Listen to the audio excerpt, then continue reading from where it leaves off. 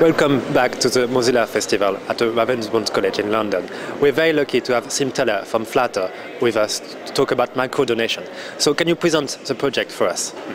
Um, so my name is Siim and uh, Flattr is a super simple way to support your favorite authors, creators, makers online.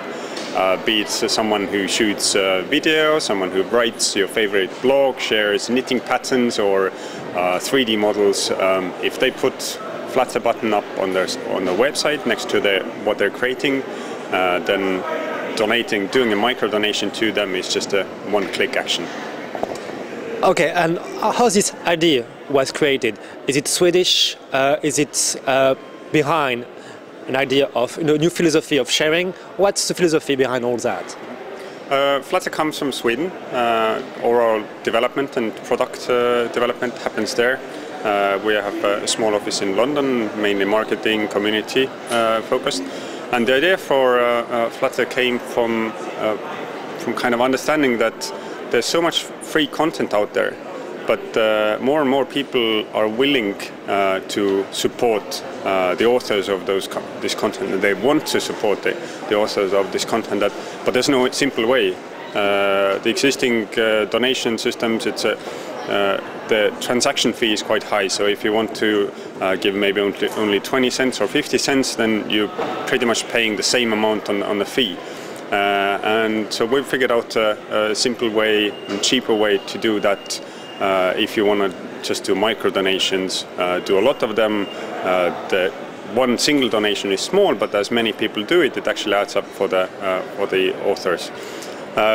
The second idea there is it's not just a monetary contribution, it's actually uh, recognizing the author's work, uh, that you really value that. You want them to keep doing what, what they're doing because you know when you've been uh, writing a blog or doing a web comic for six years you get burnt out if, if you don't get any meaningful feedback from your uh, fans. So Flattr helps there. Okay, great. And I understand you have also an office in London now. So what's uh, the strategy for London? Are you going uh, to build a community here? What's, what's the plan for, for London? Um, Flattr itself is global, it works everywhere. Uh, why we're doing uh, an office in London, uh, obviously, is that English-speaking market is important, UK market is uh, big, US market is big as well, but we'll, we'll get there next. And right now we're focusing on uh, sites and authors, uh, scenes and communities in, in London and in UK. We're going to hacker events, hacks and hack hackers events, uh, meetups uh, just to get the word out, get more people interested, sign up, uh, because it's all about the network effect. The more people you have who want to give, the more people you will have who, who want to receive as well, or will put the buttons buttons up.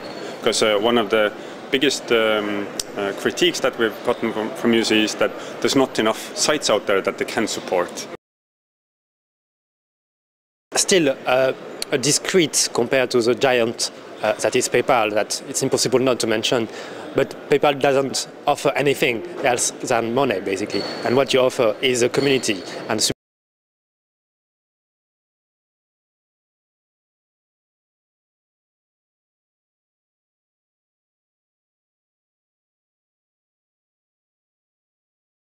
analyzing PayPal about what you're doing, about the project. Mm -hmm. uh, well, no one's from PayPal has come come in and gotten in touch saying uh, we like what you do or you should stop. Uh, and in a way, we're not really competing because PayPal is is it's an excellent tool for uh, um, payments uh, if you want to pay someone five. euros. The Flattr user pays a small fee.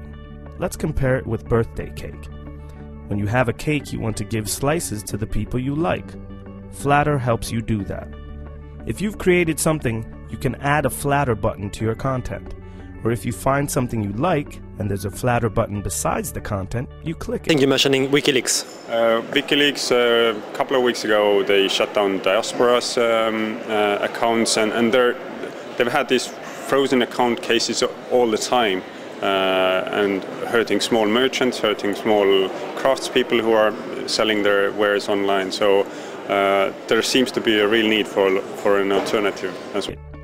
Each button is a counter showing to us, and I understand that we might, you might uh, uh, feature in on Vision on TV's blog to talk more about macro donations, and we can't wait to hear more from you. That was uh, Mark for Vision on TV, and we'll be back soon for another show. Thank you.